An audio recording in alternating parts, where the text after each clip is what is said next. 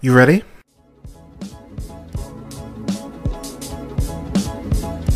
You're listening to the Reel Pineapple Podcast Network.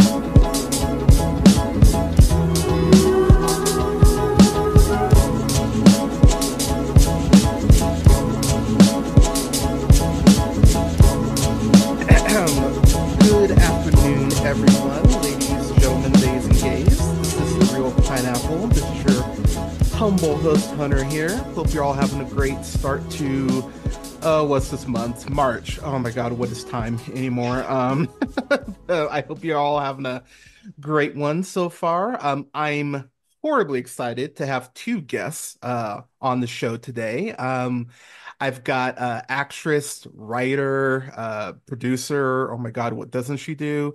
Uh, in uh, Jennifer Levinson, and then I have um, director, and I'm gonna butcher your name. I'm gonna try so hard not to. So feel free to yell at me. Uh, Almog Avidan uh, Antonir. Did I get that? Nailed it. Mm, there we go. 10 out of 10. Boom. um, thank you so much for joining me. How are you guys doing today? Thanks for having us. I'm excited to be here. Yeah, we're both very excited. Thanks uh thanks for doing this. Oh, no problem. Thank you so much for making the time. So, um, uh, Jennifer, I'm going to start with you because we're talking about your guys' movie uh, Trust today. So, in doing a little research, I did see that it was originally a short that you did a couple years ago. So, my first question out the box to you is going to be why take this short and then go ahead and make it into a feature film? What was the process on uh, process like on that, and like what was the decision making behind it? Yeah, so when I initially wrote the short, in the back of my mind, I knew I wanted to make it into a feature. Um, it's obviously hard to execute on that, but uh, that was my intention. It's a proof of concept. I knew I wanted to tell a longer form story about the trials and tribulations of dealing with a loss in a realistic way. Um, and I wanted to uh, leave a message that I have craved in other movies that sort of told similar stories. So um, I made the short with the team that was very different from the feature. And I learned a lot on making the short. Um, got very lucky that it got into Tribeca as part of the now creators market. And that started sort of opening up other doors for me to develop it further. And um, I I had a rough feature script that was in the works. And Almog and I were at a bar one day, and he made a joke to me about directing the feature, throwing his hat in the ring when I was telling him about some of the issues on the short that I experienced. And the next day, I sent him the script and was like, "Cool, you're in. Let's do this thing." So, um, sort of used the proof of concept and some of the laurels that we got to basically ask everyone I've ever met in my life for money to make the feature until I got enough equity investors and put in some of my own money and was able to greenlight the feature. Now, okay, so uh, I, I want to double back to something you just said. What what sort of issues were you having on the short? Um, I initially? think some just creative differences with certain people on the team. Um, and certain ways that I I personally thought that characters should be. I realized in a short, things I think are more um, contained.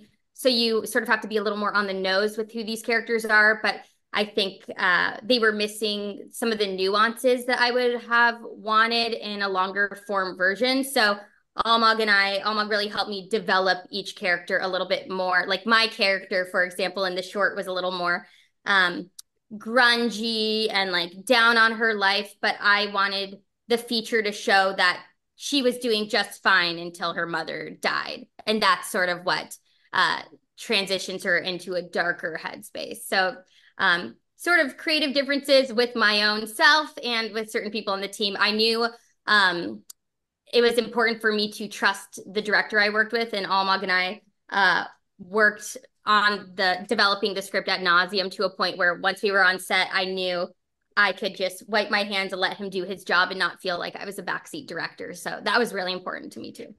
Now, was that something on the short that you didn't feel was the case? Did you feel that kind of that like uncertainty of like, is everyone is this gonna come together the way I want? Like I think so. And obviously on a short, you are tighter on the budget and um, on a feature, we had more room to sort of develop things. So um, I, think I, I, was also finding my own voice as a creative producer.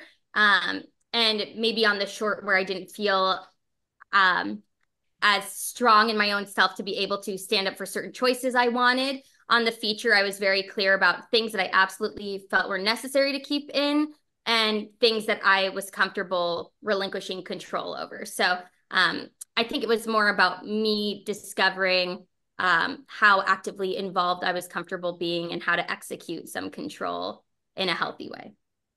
Fair. I, I as as someone who likes to control everything, I I feel that to my core. so so so I I sympathize, but props to you for being able to do that. Um, Almog, I'm gonna throw it to you here real quick, sir. So I was doing uh, in doing a little research. Um, I went ahead and I discovered Almost Cool, and I went ahead and I watched uh, like uh, seven or eight of the shorts. Um, the ones I definitely ended up binging were uh, were Wiener versus Brain, which uh, um, the uh, the the Snapchat episode in particular I thought was uh, incredibly hilarious. Um, thank I, you, thank you. I did notice though that um, you did a couple of shorts during lockdown as well, and um, I, um, I, I guess I'll ask both of you about this. I'll start with you, Almog. I know for myself, um, just dealing with the emotional and like mental toll of COVID and lockdown and everything, it was hard to find myself um, kind of hard to get in that headspace to create. But the stuff that I was creating, I found was some of my best stuff once I can you know, had the distance to could look back on it. Kind of talk to me about the process of running, uh, you know, doing almost cool through lockdown and kind of what you discovered about yourself as an artist. Um, that is a very interesting question, and um, and I'm glad you got to binge some of the almost cool stuff. but um, it was definitely, you know, by by that point we had kind of we have we had created less frequently on the channel. Um, but when it was lockdown, I think everyone was in uh, in creative deficit and just wanted to make stuff. And me and like three of my three of my really good friends, uh, you know, uh, that together we started the channel like way back in the day in college. We we'd all been been like wanting to do something, and then because it's you know not not safe to be out and uh, you know have a whole big crew, we were like, what what do we make especially for those concepts that have the relatability factor what do we do now that's relatable? So now that everyone's locked down what do we do that everyone you know a lot of people can relate to but then also we can make safely? So it's literally just the four of us. So um, before you know we would have us we would have a full-on crew like we would have a sound person a camera person and here, it was like the only way to do it is if it's literally just the four of us. Uh, so if we're not going to have a director of photography, it's me filming, and that was part of it. Was me kind of getting back to the the roots, the more of the DIY, you know, for YouTube, which that's kind of how we did, you know, back at Chapman, back in college. Um, so this was like kind of kind of coming back to that, which was really um, creatively liberating. You know, it seemed like being confined.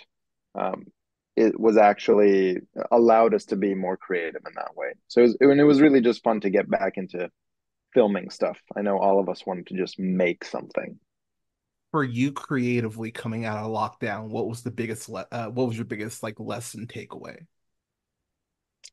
Coming out of lockdown, um, you know, I think it's to if you want to do something there's always a way to make it happen. Even even trust you know it was post like the the heyday of lockdown yeah. but it was still like during the pandemic. Like like shoots were just starting to come back. Like productions were just kind of starting to pick back up. And you know jen and i had many conversations about like you know, well, not many conversations, one conversation about like, do we wait until the pandemic is over? And then we are like, well, who knows how long, it, you know, it's probably here to stay for a while. So yeah. let's not wait. Let's just, yes, it will cost more in the sense that some more budget than we would like goes towards testing and the protocols, you know, to meet like CDC guidelines and all that stuff. But it's like if we wait, we might never make this movie. And if we want to make it badly enough, which we did, we're like, we'll figure out a way to make it happen. So I think the biggest lesson is like, if there's a will, there's a way. Um, you know, don't don't wait for it. Just kind of figure out how to make it happen. Love that. Um, Jennifer, I'm going to ask you the same question, and then I'm going to add a little bit there. Um, what was the big, so what was the biggest lesson you had coming out of lockdown? But also, what's the biggest script change that happened like during lockdown uh, between Trust as far as getting it to where it was to where it is now? Great question. Um, I would say so. We shot in my parents' house, and my dad is a former doctor who retired at you know, at the start of COVID. And my parents were neurotic. Like when I would visit them, I would stand in their backyard on an opposite side of the pool, and my dad would be on the other side of the pool, and he's losing his hearing. And I, I would be like, "Why am I here? I can't even like we can't even speak right now because we're on opposite ends of the pool. This is pointless." um, so the first time that I actually hugged my parents from the start of COVID um, was the day that we came to load into their house and we'd all been tested and um, they were leaving to give us the opportunity to shoot in their house. So that was kind of an interesting, like after, I don't know, nine months of not being anywhere near them to be like, hi, good to see you. Bye, we're shooting in your house was, was interesting. Um, I would say like the, the biggest script changes would be, um, I think there were more characters, like more side characters. Obviously, there are a lot of like family members and people coming and going. There's a funeral scene and I had to limit some characters knowing that every single character, every single actor we bring in needs to be tested. Um, needs to there's a risk of them giving somebody COVID. There there was a zone system that we had where um in my mind I'm thinking the actors are zone A, then we have crew people who are zone B, and then technically anyone we come into contact with or live with is zone C. So if I have some side character who lives with a roommate, now we have many more additional people of exposure. Mm. So I had to consider those changes in the script. Um, and fortunately, knock on wood, nobody got COVID during the shoot. But um, I would say that that was the the the biggest change, um, and which wasn't too too major. Um, but we were changing the script, little tweaks here and there up until like the day of shooting. As long as scenes were in place, um, words were being changed day of. Okay. Um, follow up uh, following up on that um you said that uh you felt like Almog you like you felt comfortable like from jump like this is our director he's got this I know I can relinqu- relinquish control is it harder to go ahead and kind of creatively push back with someone that you're such friends with like as far as criticism or does that make it easier um I'll, I'll, I'll ask you first Jennifer yeah I honestly think it was easier. I I don't want to be too precious with anything I make. I had like one thing that I said had to stay in the script or not be in the script, which is a love story. Um, I had some re- script readers tell me to add a love story, and I was like, but this is not that. I don't want a love story in here. That was the one thing I was married to, but. Um, in terms of bringing Almog on, I think from the get go, we had a lot of conversations about um, even costumes. I remember I had a certain vision. Almog had a different vision. And I was like, you know what? I'm going to trust you. We'll go with that. um, but it didn't feel like there were ever any moments of like me having to butt heads or really defend myself. It was like um, easy to communicate. I think at the end of the day, um, it depends on all creative parties having their uh, having flexibility. Like obviously we're each going to have a couple things that we're like gung ho about and passionate about, but um I was uh I've seen Almog's work. I've worked with him on shorter projects in the past. And so I in bringing him on knew how he worked and I trusted his uh directing abilities and his uh uh, he's extremely talented. I I also have told Almog this. I was like, oh, he's way out of my talent league. I don't know if he's gonna want to work with me on this. So when he was like, oh, I want to work with you, I was like, no way, this is great. I can't believe he wants to work on my crazy. Um, so yeah, I think there needs to be oh, a little mutual respect, you know. So I felt Agreed. I feel very respected by Almog. I would hope he feels the same by me. So it's easy to communicate with someone when there's that level of respect. Well said. Almog, I'll ask you the same question. Ditto to all things that were said.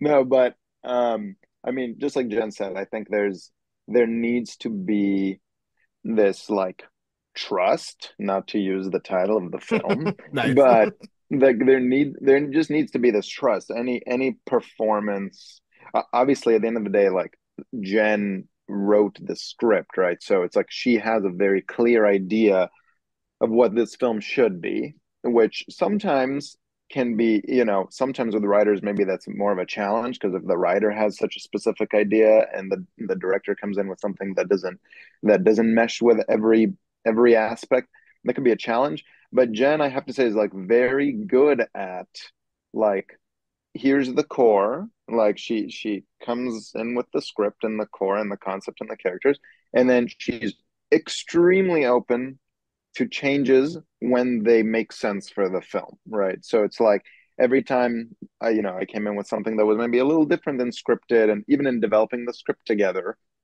it was just like jen has always been very open to ideas. And i think that only comes with trust like me trusting you know her vision for the script and her trusting me in my directing and my vision for the script. Um so and you know that trust comes with like years of working together beforehand. Um so so i think it's just that uh, openness and at the end of the day every every performance is a collaboration right yes. between an actor and a director. Uh both both artists come with ideas and in an ideal world. Well actually i wouldn't even say in an ideal world they mesh perfectly. In an ideal world they don't and then there's a conversation about it and then you arrive at the best idea you know that is a um, a combination of both of those approaches right so i think having the ability to have those conversations openly comes with that trust well said um, so Jennifer, I'm gonna throw it back to you here. Um, so by by the time I upload this, uh, people will have seen it, heard my review. So I'm gonna get I'm gonna get a little spoilery.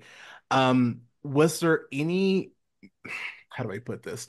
When you originally set to make to expand this short into a full film, was there a certain message that you wanted the audience to take away? Because uh, full disclosure, once I got to the end of the movie, I I, I was like really sitting here thinking on it and like meditating on it. And I was like, you know, I feel like the message is that there is, or one of the messages you could take away is that there's strength in being able to walk away and knowing what your worth is, like family, family members or not.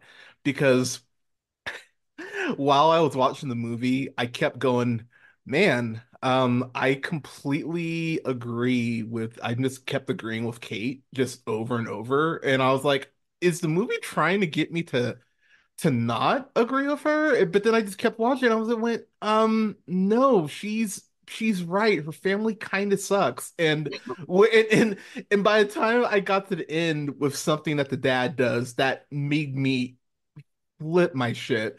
I was like, wow, I I hate him more now and I actually like her more. Like, was there something that going into it you were like, I, I kind of want to land here? Yeah, or I feel like we live in this weird time where people want to categorize everything as good or bad. And so one of the things I really wanted to show is like even in writing this feature, I think I was judging some of the characters as being all good and all bad. And I realized that people are really nuanced and some good people do bad things and bad people do good things. And I wanted to show, like, even with the dad, the family loves him. They don't really know about some of the details that his kids know.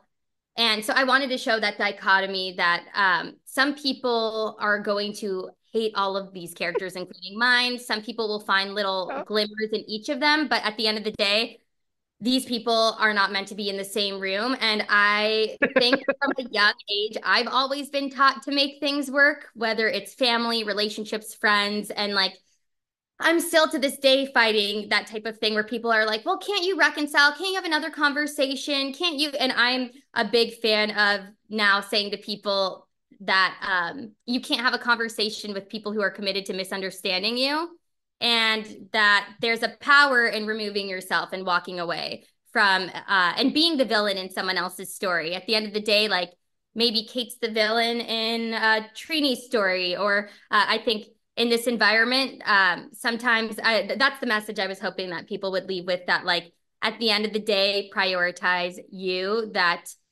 um, it's never too late to walk away from any relationship family or otherwise. Obviously it's, it's circumstantial in yeah. cases but i i see too many films and too many messages that promote reconciliation and that's been personally harmful to me. So i wanted to see something that says like you're empowered in leaving. I it, it's funny i was having this conversation um about um God, who was I talking to? I was talking to a friend and we were talking about things that we maybe grew up watching and have gone back and watched and been like, Ugh.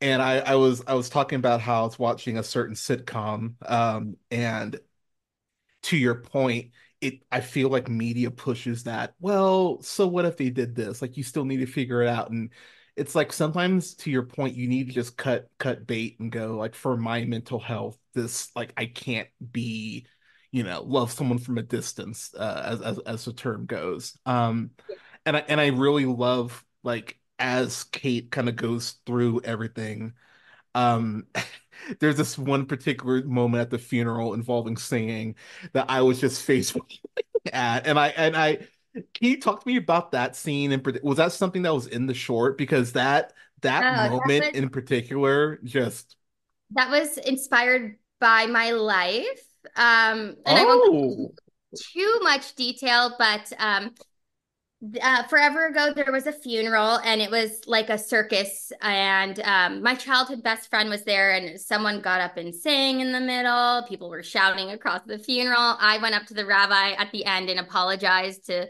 that i was related to these freaks. And apparently i don't remember this but i turned to my best friend and i went oh my gosh this literally is a movie. Like i'm so embarrassed. And I wanted to honestly, we the actual reality of what happened was significantly worse. But in when I showed Almog my initial script and a lot of other people, they were like, "This is unbelievable," and this is like crazy.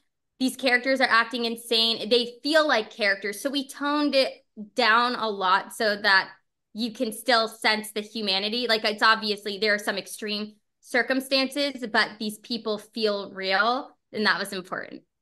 Okay. Um, Almog, there there's one shot I wanted to ask you about in particular. Um, because I love this shot. There's this there's a shot where Josh is talking uh to Kate near the end of the movie, and like Kate's by her car, like on the uh like the, on the sidewalk, and Josh is like maybe four feet away from her, and there's an there's a tree in between them now, it, was that an intentional visual cue to go ahead and represent a, a, literal divide between the two of them? Because if so, that's fucking brilliant. Because I like I saw that, I was like, huh, okay, this feels intentional, or was that like a happy accident? I, I... everything is intentional. Just kidding. We did not plant the tree there. Um, but um, you know, it's interesting you say that because I mean, the intention with that shot, uh, to be uh, entirely honest with you, I don't think I ever noticed the tree. Now I'll go back and look at this tree, but the intention behind the shot, intention you got from it was there. And like, it's very much like this the two of them standing facing each other, and it's like split down the middle, right? Yeah. Um, and it's supposed to be very much like he's still in that same scene, you know, where she's about to leave, another thing that I talked to with Stan, our director of photography, who is incredibly talented, and I love working with him. Um, we had this idea, I think, when we set up the shot for for uh, Heston, who plays Josh, that if you look on his shot, he's like framed by the house, like yeah. he's almost like almost the the house as a cage, which um, Damien talks about, the dad earlier in the film. It's like we wanted to have that idea play through in the framing of Josh, and the reason why Josh ultimately like stays behind. He's trying to keep the family together. He's still like tethered to the house and the family. whereas Kate's, you know, like we she's facing more toward the street, like she's about to like leave and and free herself, right? So I think in that two shot you're talking about, like uh, Josh is on the side of the house. He's trapped with the house, and then Kate is on the side of the street. She's about to be free, and then we we also like had that theme play through in their coverage, each of their shots.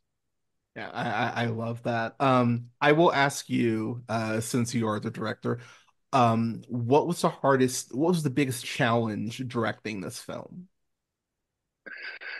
Um, you know, what a great question. I think the this was I think the biggest cast of not I think it was. It was the biggest cast of a film that I've directed. Um, you know, part of it is because it's my first feature, so obviously you're gonna have more characters in a feature film, but there were a lot of scenes with a lot of cast. Um, you know, there there was there's like the extended family, there's the funeral scene.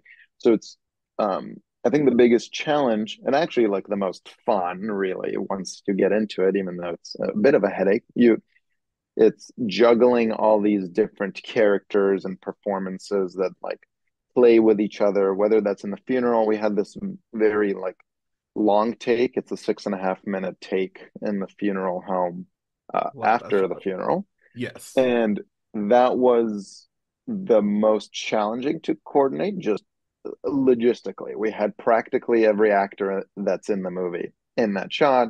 And we had one day to get it. We did not have a rehearsal day ahead of time. So it was like half a day of rehearsing, half a day of filming. That was a very um, intricate shot, which was, you know, it's funny. I, I found myself in prep. Like I had figured out the shot list for like everything else and I almost always put that shot like off because I was like, oh my God, I don't even know where to start with this. So I kept like not thinking about it until like Just two weeks before we shot. And then I was like, all right, I need to like start thinking about it because we can't just figure it out on the day. We have to figure it out beforehand and then make adjustments. So that was like the biggest uh like mind hurdle, you know, but it was so like once we got into it, it was so much fun you know. Right. Yeah, I love the way that shot was shot because it's almost like you feel the walls co- closing in on Kate. Like the more that scene goes on, um, mm-hmm. uh, Jennifer, to throw it back to you, um, as a writer, one thing that I always find myself really kind of struggling with and kind of fighting myself on is like how how I can visually represent the person that I'm writing for. When it came to casting everyone, like how hard was that as far as going like okay this is how i you know this is how i picture them on the on the script. This is the the visual representation of them and knowing that you nailed that? So um in terms of casting i was very actively involved. I had um a lot of people trying to pressure me to change the three main cast um because uh obviously I cast myself and two people who were in the short and were relatively unknown.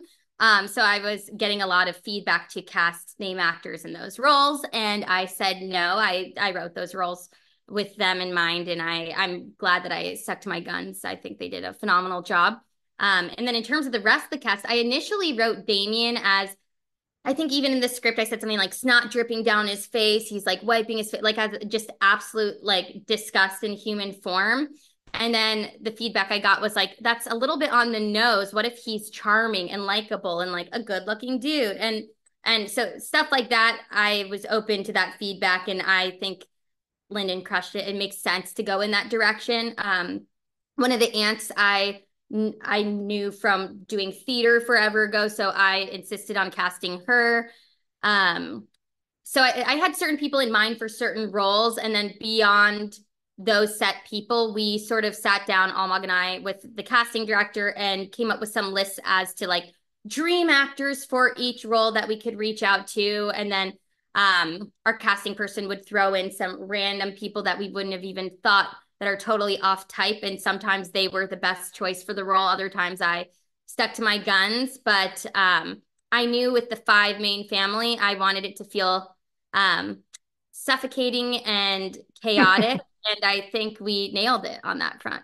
Uh, agreed. Um, so, so actually, to throw it back on that, was there any hesitation to cast yourself? Like, you know, I am my own worst critic, and I think, um, I, I think I probably put a little too much on my plate in terms of like we would yell cut Almog would yell cut and i'm signing a check making a phone call so it's hard to go like from actor to producer to uh, like it, it's a lot to take on um but no actually in the past it's funny i was talking to my mom about this day how i had an ex who used to be like you need to stop writing things for yourself like write good stories and on our festival circuit everyone has been like it's so smart that you've been writing things for yourself and that's sort yeah. of reason I segued into writing is I come from an acting background. It's hard to get your foot in the door. And um, no, I, I was insistent on putting myself in this. And I'm glad I did, even though I have trouble watching the screenings now because of me. Oh, do you? You're you're one of those. You it's can't. the one scene.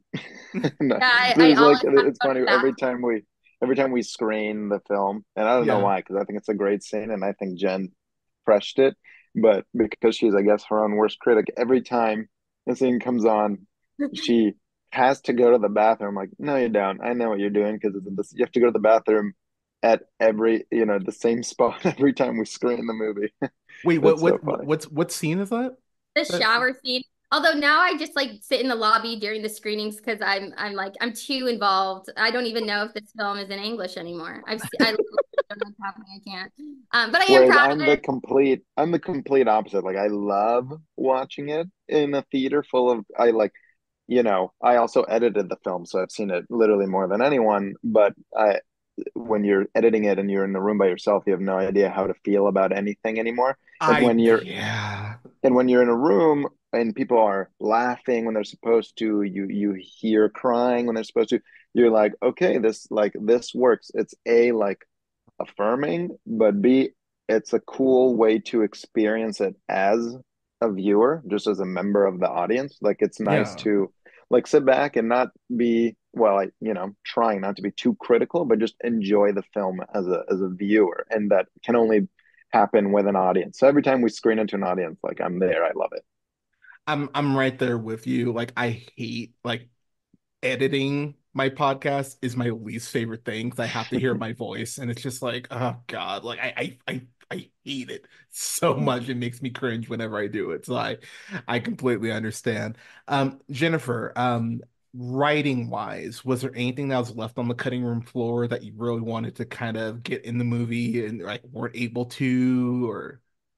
Um, no, not really. Um, I think there were certain things in the funeral that I initially was a little bummed about removing. Um, certain things that emulated the actual funeral that inspired the funeral scene, but um, I'm big on telling the best story, and I think that that was the biggest challenge for me is like what aspects of my lived experience am I married to versus telling the best story, and at a certain point, I just think telling the best story is mo- most important, and um, I yeah, I don't think there was anything that needed to be included that wasn't already included.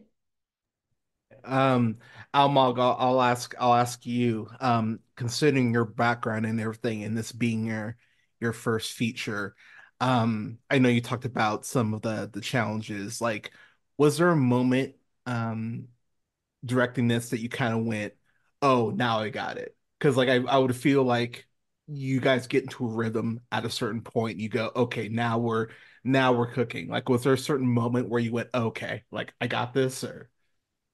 Um what a great question. I think i think it was like three quarters into day one um specific okay.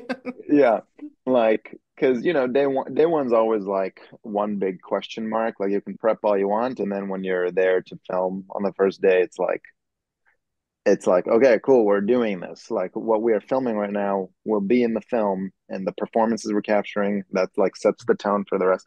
And and also it's like the first time that the cast and the crew are working together right? Everyone working together. So it's kind of this this it's this train that you hope will be moving at a good pace and then it's always a little slow you know the beginning of every day is a little slower than you'd like, but day one is always like everyone's getting in the groove. And I think, I think like a couple hours into day one, I was like probably internally freaking out a little bit. I was like, we should be at this, you know, we should be here by now, but we're here. And like, is this gonna work? And like, you know, you have this idea in your mind, you're like, we're not capturing exactly my idea, whatever.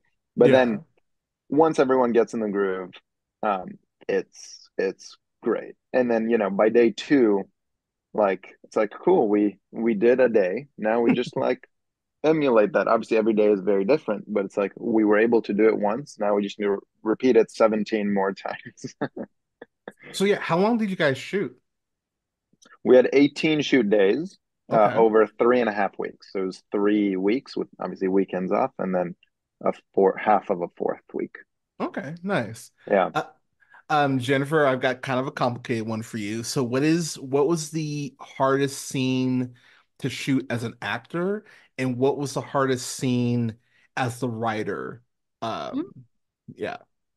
Um, as an actor, I think day one was hard just to get in the rhythm of things, and also, um, Almog likes to do a lot of takes, and and yeah, I do. it's great. It gives you room to play. But at first, my my first thought after you know the first few takes was, oh, it's because I suck and I am terrible. And why did I put myself in this? Um, but then you know after after a few days, I was like, oh, that's he just does a lot of takes. It's not because I'm the worst in the world. Um, so got over that. But then I would say the wa- running into the ocean was a challenge because um, one, I'm afraid of the ocean. Um, and it was freezing and and you have to really be in the moment and turn it on and like get to this emotional climax. Um, that was challenging. Um, and then from a writing perspective, I'd say the 10 I know exactly which one. Oh, never one? mind. Oh, no. oh, I'm curious what you were gonna say. Yeah, I, actually, I'm, I'm curious. Yeah, what you, what you got? The, well, the oneer for me, like I wrote it as a oneer, um, but it obviously is a challenge to have all the crew hit their marks, all the actors hit their marks. And I think we did 17 takes of that scene. Oh, and geez. I was just like, gosh, I really hope this works. Like, um, there were a couple times where like one person would miss a mark and then you'd have to reset. So it was definitely a challenge. But in my mind, I was like, there's no other way to do to feel the chaos of being at a funeral when like you know you're there to honor this person but then someone's talking about a game that's on tv someone else talking about sh- like there's so much going on and it feels like overwhelming and suffocating and i didn't think it was possible to do it without that oneer. But Almog, i'd love to know what you thought i was going to say. Well i would thought you were going to say the the first family scene. I mean that was also in the back of my head. Because i feel like you know that that was uh, according to jen uh, her favorite written scene, her favorite scene in the script that she wrote. Really? And then when okay, and then when we were, you know, it's like that first scene when the extended family is in, it's kind of that chaotic. Everyone's trying to be helpful and coordinate where to go to lunch and that whole thing. Um, so that was Jen's favorite written scene, and when we were filming it, it was actually the first day that the the extent the actors of the extended family arrived. So it was just like a lot more bodies in the room, a lot more back and forth. And I and I think we all felt it that it was not exactly the version that we had imagined.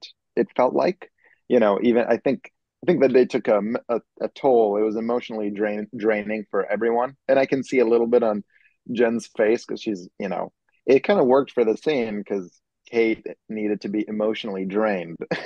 but I you know, I think everyone on set felt a little bit of this like, oh, this scene is a lot. And then it worked for the film. And Jen is, you know, we're both very happy with how it came out, like in the edit. But I think on the day, it was definitely emotionally draining. And we were all kind of wondering, will this scene work? Like, you know, when we in post, will it come out the way we we hoped it would? Is there um Jennifer, I, I, I, I'll ask you first. Was there a scene? So, I think one thing I love about how you acted. By the way, I think you killed it in that oh, department.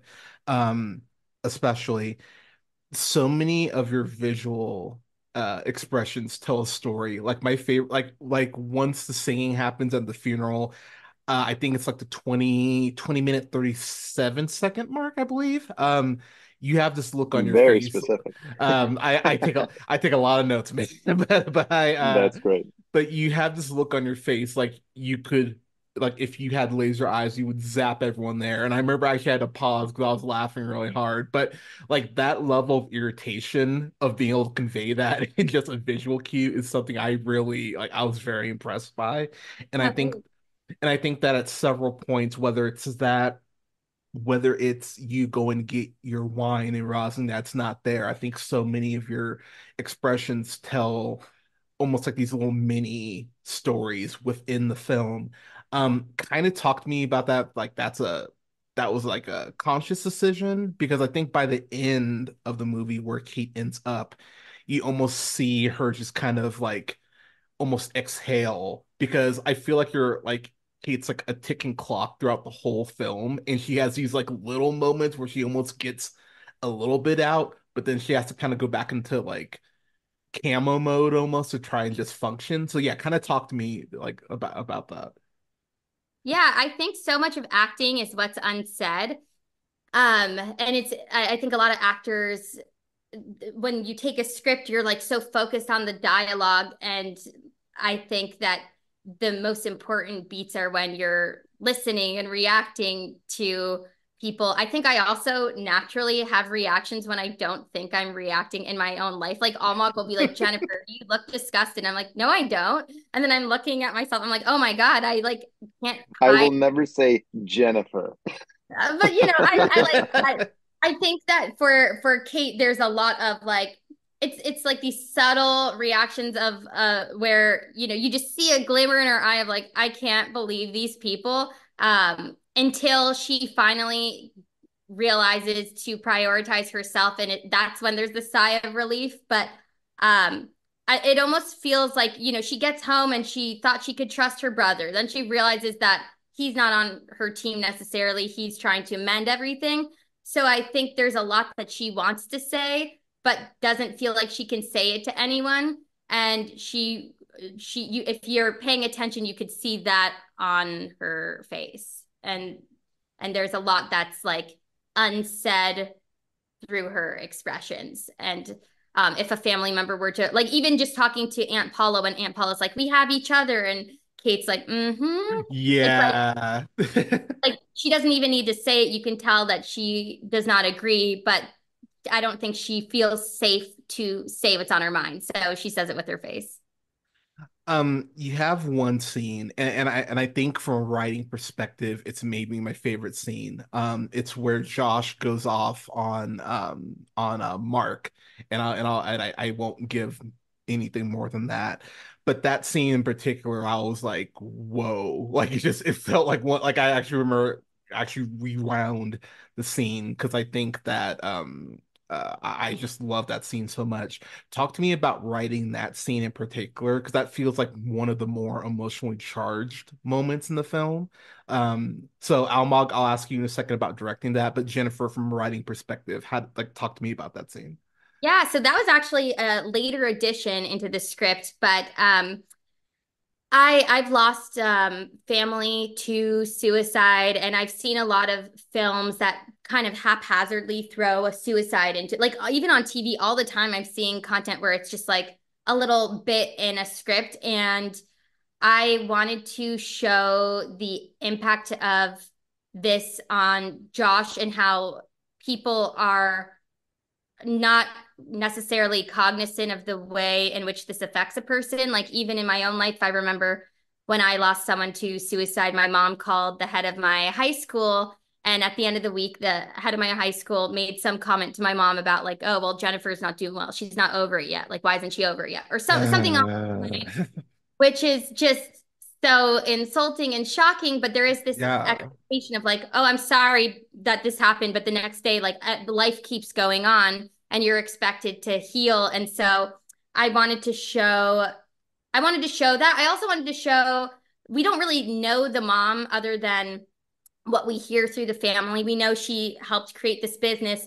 And it's this weird dichotomy where like we we kind of make it apparent that she was struggling enough to not be doing her job well Um, but at the same time, it's for for a child of someone who's struggling, it's like, how do you vouch for this person? And um, I thought it was important to put that in there to help destigmatize any sort of mental health issues and show how much of an effect this has on the family.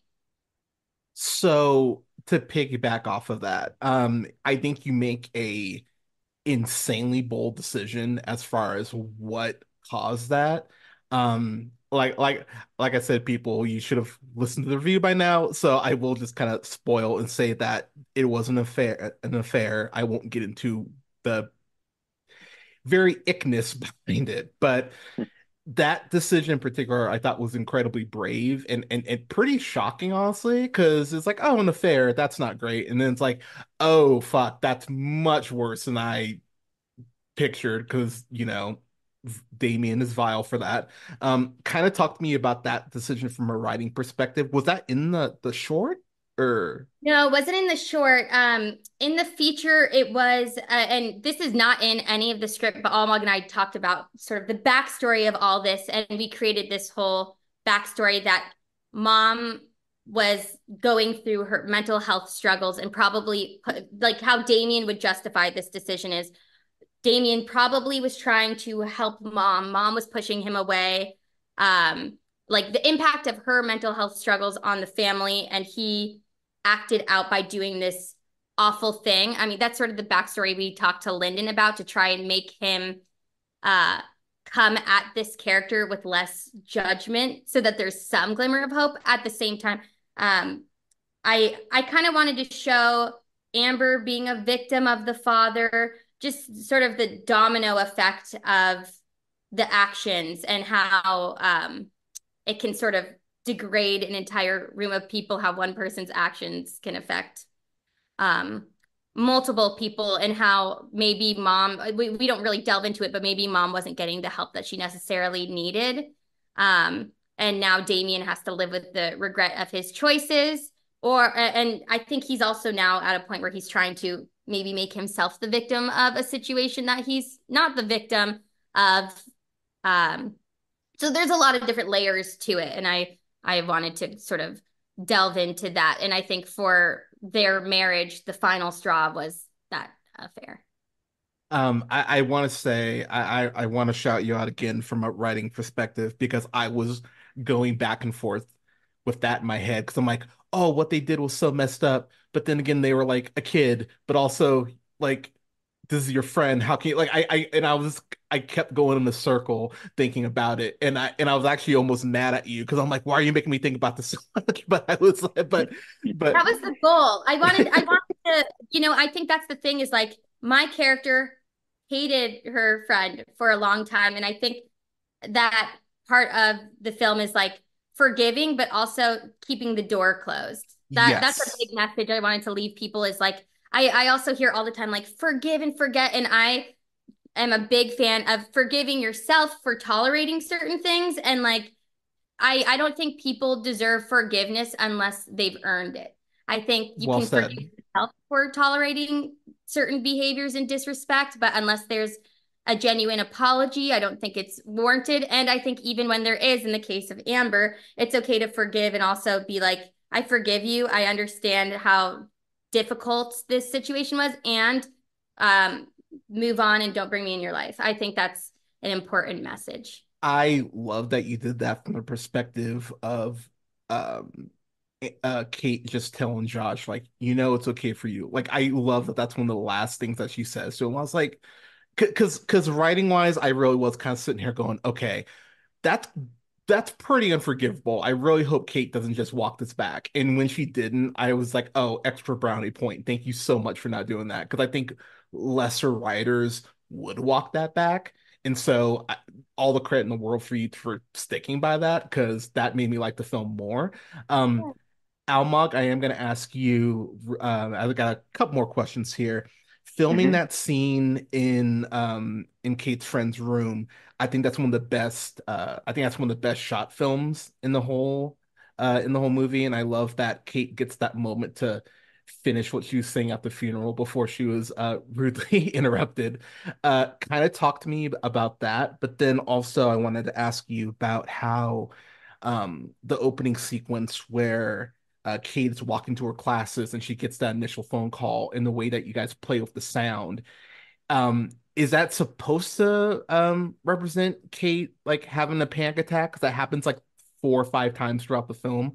So kind of talk to me about that initial bedroom scene and then kind of about the uh, that other sequences there, if you wouldn't mind. Yeah, so I mean, at the beginning, the very first scene, uh, that was something that Jen and I talked a lot about, and just the script stage is we both felt it was important to have to see what Kate's life is like before the call, right? Before before she finds out that her, her mom died, because then she's kind of sucked back into the family, right? Something she's been avoiding for a while, and now she's sucked back into it. She has no choice. So having that scene where she, she's doing well, she's in school, she's like she's you know a go getter, kind of on the up and up.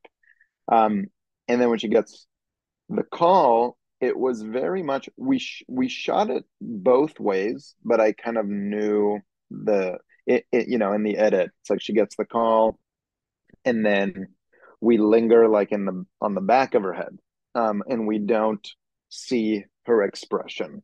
Um, at, you know, and that was a very conscious decision because easily we could have, you know, been on her face and see her start to get this like panic attack and and cut from there. But i thought it, it's more interesting to you know have us imagine it but then also to kind of build up to the big like panic attack that kind of comes later on. Like we don't want to see it now but we can allude to it and assume how she might react to getting such a call but we don't see it quite yet. So um so that scene was very important to kind of set the that stage but i very consciously wanted to like linger on the back of her head so we don't fully see how she's reacting to it. Because it, there's also a lot going on there right? It's like maybe this is a call she was fearing that might come for a while. Um so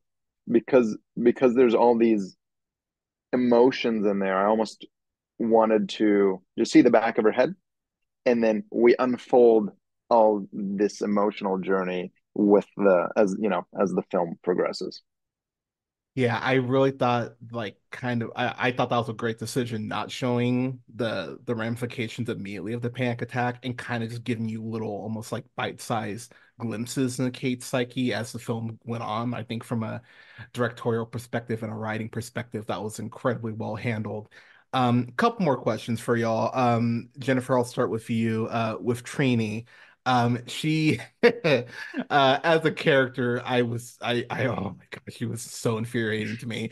But, but there, there are these, there's like one or two moments where I was like, oh, I feel a, a tinge, like a twinge of sympathy for her. Like not a ton, because I think she's terrible. but but I felt a little sympathy for her.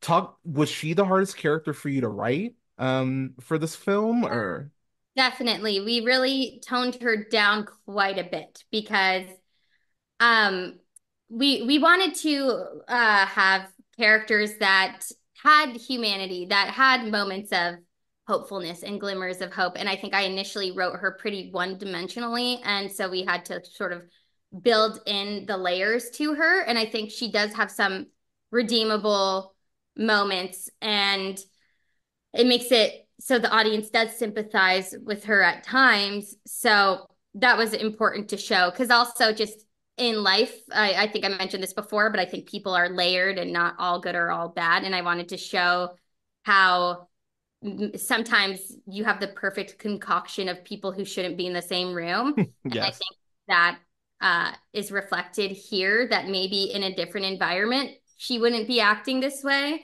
I think in certain isolated moments we see her humanity shine through. Um, so so I wanted the audience to feel conflicted about her in those moments.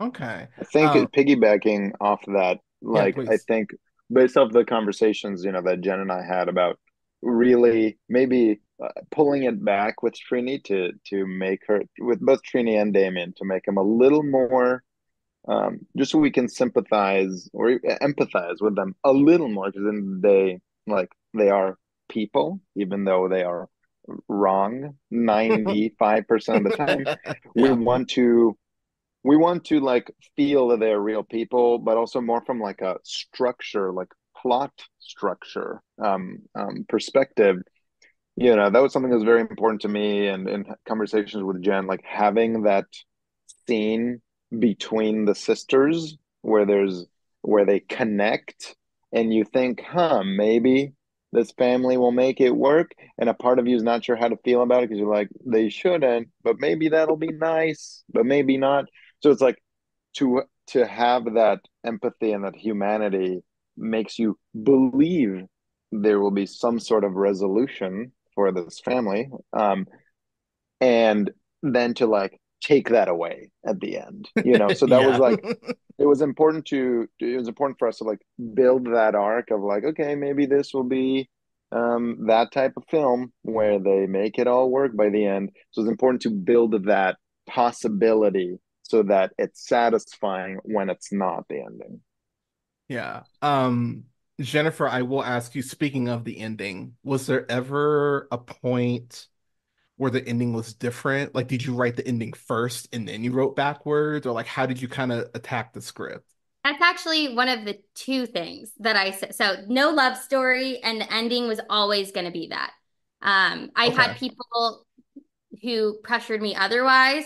Um, we even had someone at a at a festival who was upset by the ending, but I appreciated that reaction because yeah, I think that um, you know, I want people to leave thinking and, uh, you know, considering the ending. And I know for some people it, it's upsetting that the family isn't making it work, that she's not trying to make it work. But for me, I thought that was the only hopeful ending that that staying in it. I mean, even just I reflecting on the messages I could have used in my past, I'm like, man, if I had had messages that said you can leave, you should leave, you don't need to try and make this work, I think I would have been out of some unhealthy situations for myself a lot sooner. So that's kind of mm. I wanted to leave people with that message and some people might not love that.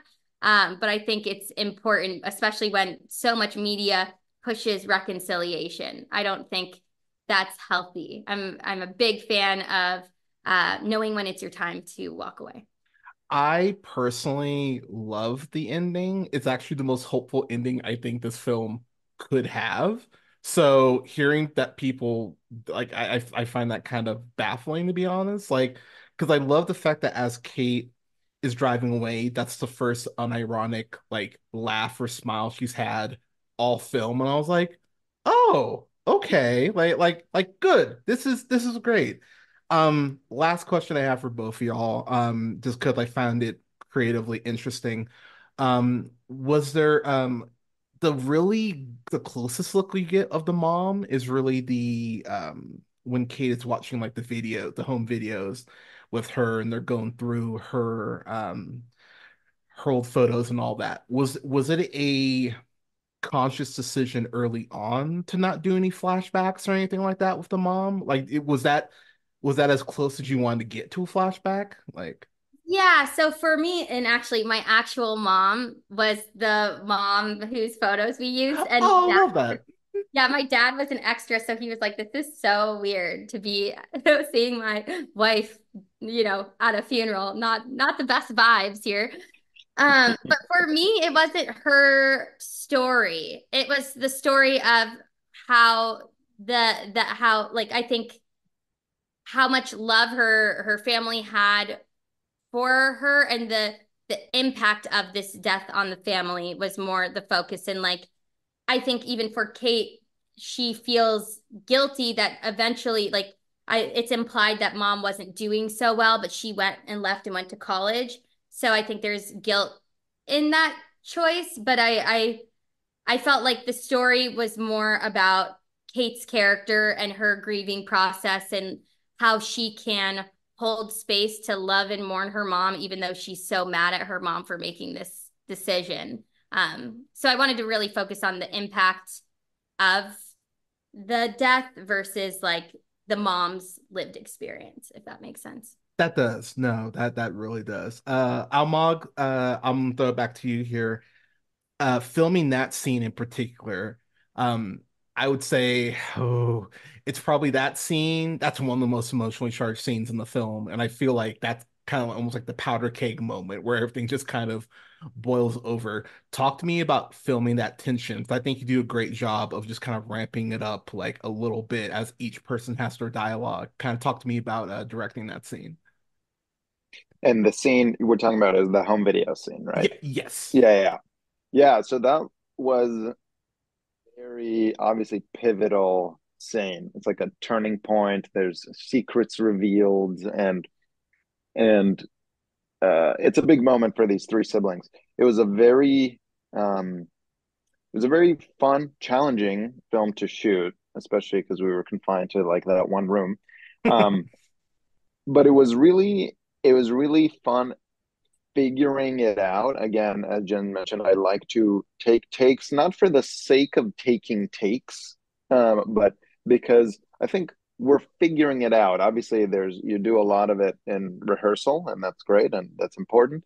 But then on the day, there's there's still an element of figuring it out. And I think for that scene specifically, there was a lot of that figuring it out. Like as we were filming, with every take, it became a little clear what the intention is. Like with every line, and I think a, a lot of things that were like that I I loved playing with was the the secrecy, right? So there's like between Josh and Trini and what Trini was doing with the ashes and the fact that Josh knew about it and these kind of looks they're giving each other to like great not reveal, here, not by, now. Great reveal, by the way. That that oh, that made me so mad. But so it was very much like, you know, that scene is like you don't realize what everything has been leading to until the scene until things are revealed. Um, so there was that that um, uh, powder keg moment, but then another emotional crux of that scene for me was like because it's really the first time we see um, you know we see mom in a uh, you know not in a photo but in a in a home video in a memory. She is she is alive in this moment on tv right?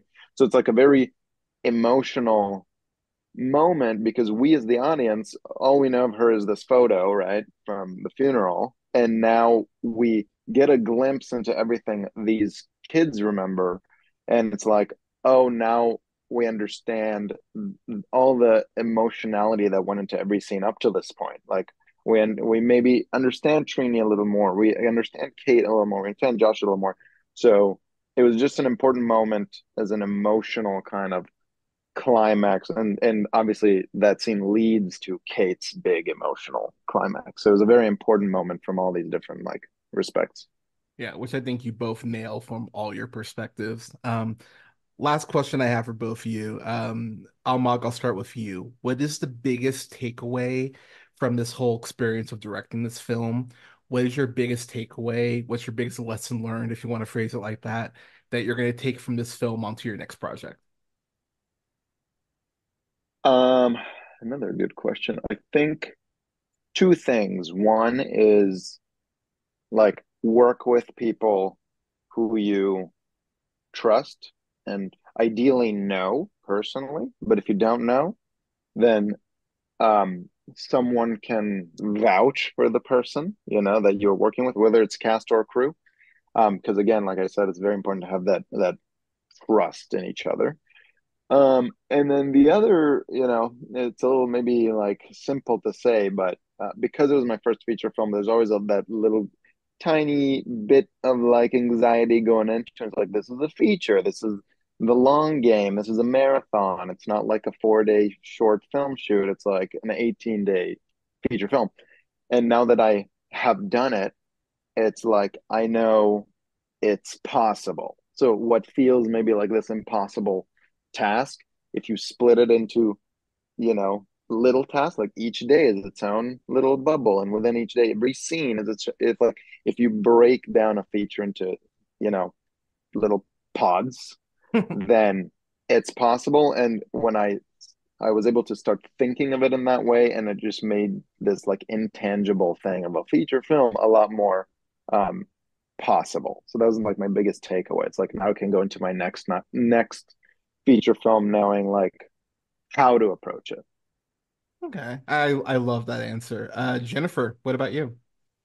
Um, I would say showing gratitude and uh, respecting everyone at every stage of the process from, you know, the biggest actor on set to the PAs. Like we could not have made this film without every hand on deck. And um, I on our set there was everyone seemed very respectful, and um, I've been on other sets where I can see the uh, hierarchy at play, mm. and I'm a big fan of you know the people who work well together, bring them along on the journey to the next project, and um, coming up together.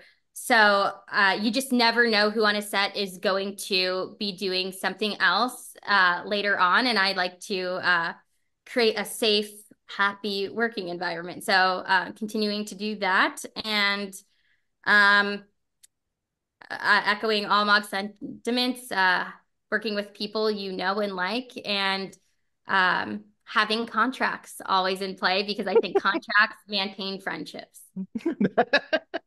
well said. Um, Almog, Jennifer, thank you so much for taking part of your day to talk with me. This was horribly enjoyable, and I I really enjoyed talking to both of you. Thank you so much. Um, last thing I will ask y'all before you get out of here, Jennifer. Um, if you please share your uh, where the uh, people can find you on social media if you have it, and then uh, what projects do you have coming up? Yeah, you can find me on most socials at Jen Hearts two four seven. I think I'm the Jennifer Levinson on TikTok, and then um, working on a bunch of different projects right now. Um, Almog and I are developing a horror feature called Age. I have my Ooh. own script, How to Hunt a Narcissist, and then um, a bunch of other projects, one called Cut Purse, and um, developing another horror about um, abandoned malls. So, very excited for all of the uh, upcoming horror based projects. Nice, let's go. We uh, also uh, have another feature we're collaborating on called Tagged. Oh yeah, we do. Oh my god, I, I there's so can't. many projects that we can't even keep track. Um, but yeah, the two of us are collaborating with a third writer, and it's based on a. We recently made a short film for Halloween, just like a horror film. So it's like a feature version of that. Okay. That we also have in the works. And then yeah, I have um I also have a couple other features I'm working on um and hopefully, you know, one or all of them will happen in the next year. yes. Oh, uh, any uh, any uh, any socials they can find you on Almog? Oh yeah, I'm uh, you know also on most of the socials um, at almog.aa. Perfect. And then um, when should this be out for people to uh, to uh, to uh, to check out? It's out. yeah. So it just came out two days ago, so it's available on Amazon, iTunes, Google Play, I think YouTube TV, right? Mm-hmm. Yeah. So everywhere you you rent or buy movies, it is available. Perfect. And I will definitely be tagging you both once the uh interview and the review are are are live. I uh I already did my review this morning. Uh spoiler, it's a it's a very good rating. So uh oh, so yes. so, so I will share y'all on that. But um Love Jennifer Almog, seriously, um I enjoyed this film so much. I can't wait to see y'all's next collaboration. It's a it's a day one watch for me. Like I can't wait to see what y'all do next. Um, again, thank you so much for taking the time. I really appreciate it, and uh, I hope you guys have a good rest of your day. Thank you. Thank you. you. Thank you so much for having us. This was so. This was a blast. Yeah. Thank you again for taking the time. You guys take care. You too. All right. Bye. Bye.